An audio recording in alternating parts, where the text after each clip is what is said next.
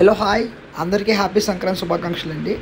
ఇది మా ఊర్లో పండగ చేసుకుంటున్నాం. సో మా ఊర్లో మా ఇంట్లో దేవుడు దేవుడి మందిరం ఇక్కడ ఇది సో ఇది ఇలా చేస్తారు పల్లెటూరులో. అన్ని దేవుళ్ళు ఫొటోస్ పెట్టుకొని అండ్ దేవుని మా మా అమ్మమ్మ ఇలా డెకరేట్ చేశారు. సో చాలా ఇయర్స్ ఎన్నో సంవత్సరాల నుంచి దేవుడి గది ఇలానే ఉంది. సో ఎక్కడ చెక్కి చెదరలేదు. ప్రతి సంవత్సరం వచ్చి పండుగ చేసుకుంటాం మేము. ఈసారి ఇంకా బాగా జరుపుకున్నాం. అండ్ uh, మీ అందరికీ చూపించాలనే దీంతో నేను షూట్ చేశాను. సో మొత్తం వీడియో మొత్తం స్కిప్ చేయకుండా చూడండి. మా సిస్టర్స్తోని మేము ఫన్నీ ఫన్నీగా చాలా జ చాలా ఎక్స్పీరియన్స్ అయ్యాం. అవన్నీ స్కిప్ చేయకుండా చూస్తే మీకు అర్థమవుతుంది. అండ్ uh, మేము కొలుచుకునే దేవుడి పేరు లోవతలమ్మ ఆ కత్తి ఉంది కదండి ఆ కత్తి అంటే పోతురాజు అంటారు దాన్ని. సో మా ఇంటి అమ్మవారు ఆమె లోవతలమ్మ అనేది. మేము చాలా ఇయర్స్ నుంచి కొలుస్తున్నాం ఆ- ఆమెనే. ఈవెన్ మా మదర్కి కూడా దేవుడి పేరే పెట్టారు లోవ లక్ష్మణి. సో అంత మాకు నమ్మకం. సో మీ అందరికీ హ్యాపీ సక్ర శుభాకాంక్షలు. సో వీడియో మొత్తం చూడండి ఓకే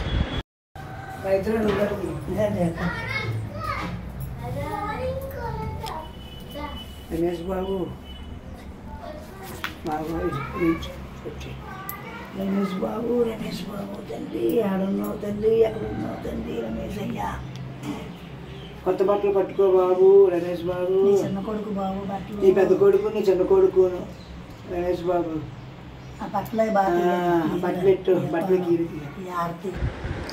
మా ఫాదర్ అండి మా ఫాదర్ చనిపోయారు బట్టలు పెడుతున్నారు. మా మదర్ పూజ చేస్తున్నారు పక్కన మా పెద్దమ్మ. సో అలా అంటారు. అతని పేరు చెప్పి ఇలా బట్టలు ఇలా మీ అబ్బాయి పెట్టారని అంటారు. దాని మీనింగ్ అది. అండ్ మా ఫాదర్ చనిపోయారు. సో అందుకు ఎవ్రీ ఇయర్ ఫెస్టివల్ పెట్టుకోవాలి కదా. సో అలా పెట్టుకుంటున్నాం.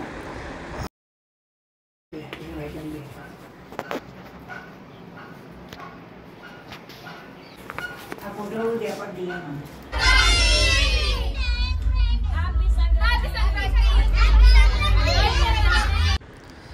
ఈ గుడి అనేది చిన్న గుడి కనిపిస్తుంది కదండి. చాలా పవర్ఫుల్ గాడ్ ఇక్కడ చెరువు మధ్యలో ఉంటుంది అమ్మవారు. అమ్మవారి గుడి కూడా కడుతున్నారు. దుర్గాలమ్మ అమ్మవారి పేరు. సో ఆ పండగ ఇంకో త్రీ మంత్స్లో స్టార్ట్ అవుతుంది. మీకు ఆ వీడియో నేను మళ్ళీ షేర్ చేస్తాను గుడి కట్టినప్పుడు.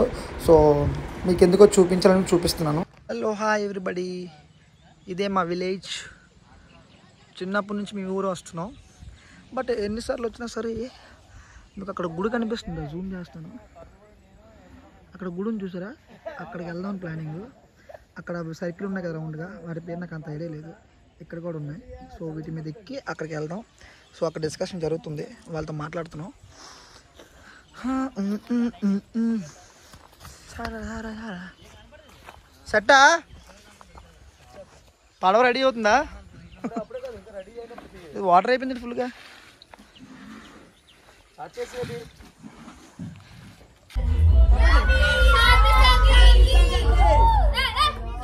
కొట్టాను. తర్వాత మనకు కావాల్సింది చికెన్ తీసుకోవాలి. ఈ చికెన్లో కావాల్సిన ఇంగ్రీడియంట్స్ ఏంటంటే చికెన్ ఫ్రై అదే చికెన్ మసాలా ఒకటి అల్లం వెల్లుల్లి పేస్ట్ రెండు కలిపి వేస్తాము. ఇది అయిపోయాక టేస్ట్ ఇప్పుడు ఇందులో ఏం కలిపి ఇప్పుడు? ఇప్పుడు నేను సరే చెప్పు. ఎగ్ వేసాను తర్వాత చికెన్ వేస్తున్నాను అనమాట ఉమ్. మనం తగినంత చికెన్ తీసుకున్నాం కదా. ఇంకొంచెం చికెన్ తీసుకుని ఎందుకంటే మా తమ్ముడు చాలా ఇష్టం. చికెన్ పకోడీ అంటే చాలా లైక్ చేస్తాడు. దానికి తగినంత కారం. తగినంత మసాలా లేదు. ఒక జస్ట్ వాచ్ ప్లీజ్ మిక్స్ చేస్తున్నాను అనమాట ఇది బాగా కాసేపు ఒక ట్వంటీ మినిట్స్ నానబెడితే చాలా చాలా అంటే చాలా బాగుంటుంది. అది నేను టేస్ట్ చేయలేను. వాడికి ఇచ్చాక వాళ్ళని అడగండి. వాచించి ఫైవ్ మినిట్స్ ఇప్పుడు ఇంగ్రీడియంట్స్ ఏనా అడిగి చెప్పారు కదా. ఇప్పుడు దీనికి కావాల్సిన పదార్థ పదార్థాల్లో ఇది ఒకటి. శనగపిండి శనగపిండా? మేము దీని తగినంత తీసుకుంటున్నాము. ఉమ్. ఆపే. ఇది అల్లం వెల్లుల్లి పేస్ట్ రెండు ప్యాకెట్లు తీసుకున్నాను అనమాట ఇప్పుడు నాకు ఆడడానికి ఖాళీ లేదు. అందుకే రెండు పేస్ట్లు తీసుకున్నాను అనమాట దీనికి తగినంత అంటే దీంట్లో రెండు సరిపోతాయి. బాగుంటుంది. టేస్ట్ అయితే చూడవసరం లేదు. పక్కా అయితే బాగుంటుంది. ఇంకొకటి కూడా ఉంది. అది కూడా చూపిస్తాను. ఇది చికెన్ మసాలా పౌడర్. అనిపించండి అని ఐదు నిమిషాలు మాత్రం పూర్తి అయిపోయింది ఎల్లోపే ఫ్రెష్ అప్ అయ్యి వచ్చారనమాట ఇప్పుడు పొయ్యి వెలిగిస్తున్నాను. స్టవ్ వెలిగించాక మనకు కావాల్సింది చికెన్ పకోడీ రెడీ చేయడం. ఆయిల్ వేసాను అండ్ చికెన్కి పకోడీకి రెడీ చేసుకొని ప్రిపేర్ అయ్యాను కదా. ఇప్పుడు ఏది చూపిస్తారో జస్ట్ వేపించి నేను ఇప్పుడు లైట్గా ఆయిల్ వేస్తున్నాను సరిపోదు అనమాట మనకు ఆయిల్ డీప్ అయిపోయింది. ఇప్పుడు మనం చక్కగా చికెన్ పకోడీ వేసేస్తున్నాను అది చూడండి. ఎంత టెస్టీగా అంటే చాలా అంటే చాలా బాగుంటుంది. ఒకసారి మీరు ట్రై చేయండి. మీకు ఏం కావాలి ఇంగ్రీడియంట్స్ కావాలో నేను అన్ని అందులోనే పెడతాను. మీరు ఒకసారి ట్రై చేయండి. చాలా అంటే చాలా బాగుంటుంది. మీరు కావాల్సిన పదార్థాలు ఏమంటే శనగపిండి అండ్ చికెన్ మసాలా అల్లం పేస్ట్. దానికి కావాల్సినంత కారం కావాల్సినంత సాల్ట్ కావాలి. మనకి ఇంట్లోని ఎంత కంగారుగా చేసుకున్నా చాలా అంటే చాలా బాగా వస్తుంది. మీరు ఒక్కసారి ట్రై చేయండి. మా తమ్ముడు చేయమన్నాడు. మా పిల్లలు చేయమన్నారని చాలా ఇంట్రెస్ట్తో చేస్తున్నాను. మా ఊరు వచ్చిన తర్వాత ఇదే చేయలేను నేను. వాళ్ళ కోసమని నేను ట్రై చేస్తున్నాను. ఒకసారి మీరు కూడా ట్రై చేయండి. ఇలా పట్టుకున్నావేట్రా ఫోన్ని? స్టైలా? అలా ఉందిరా మొహం. గుండు నా కొడుకు.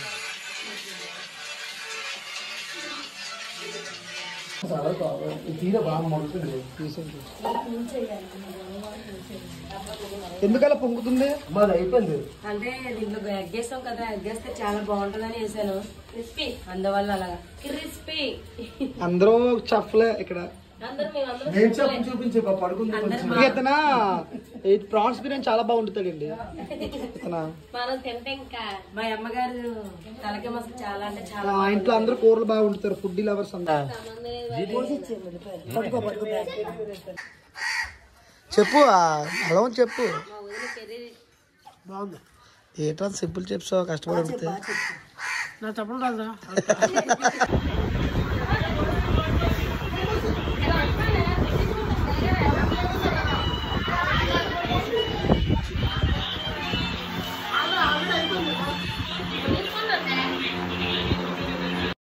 సో ఈవినింగ్ అయింది. అక్కడ చాలా చల్లగా ఉంది యాక్చువల్గా మా ఊర్లో. సో ఆ చల్లదనంకి వేడివేడి బజ్జీలు తినాలనిపించింది. మా అక్కని అడిగితే బజ్జీలు చేస్తుంది అందరికీ సో అంటే మనం ఇక్కడ సిటీలో తినడం వేరేమో బట్ అక్కడ ఆ అంబియన్స్కి ఆ వాతావరణంకి తింటే మాత్రం చాలా నచ్చింది. ఆ వేడి వేడి బజ్జీలతో భలే చిల్ అయ్యాం. బజ్జీలతో ఆనియన్స్ ఉల్లిపాయ మసాలా. ఏం చేస్తున్నా బ్రో? సిస్టర్ చేసింది అవునా?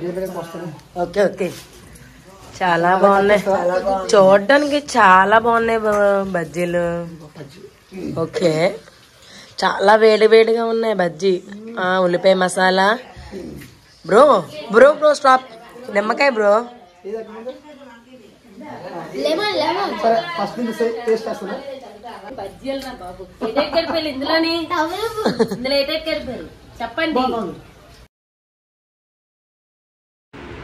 అండ్ బజ్జీలు తిరిగిన తర్వాత మా ఊరి దగ్గర రామాలయం ఉందండి. ఈ రామాలయం దగ్గర ముందున కూర్చొని ఆ సాంగ్స్ వింటుంటే ఎంత ప్రశాంతంగా ఉందో నేను చెప్పలేను. మీకు చూస్తే మీకు అర్థమవుద్ది. విలేజ్ అనేది చాలా తక్కువ మంది ఉంటారు బేగా పడుకుని పోతారు టెన్షన్స్ ఉండవు ఏముండవు బట్ మేము ఉన్న పండగ అంతా కంప్లీట్ చేసాం హ్యాపీగా చిల్ అయ్యాం. అండ్ రిటర్న్ అయితే స్టార్ట్ అయిపోవాలి రేపు. సో వీడియో చూసిన ప్రతి ఒక్కరికి థ్యాంక్ యూ సబ్స్క్రైబ్ చేయండి షేర్ చేయండి. Love you take care bye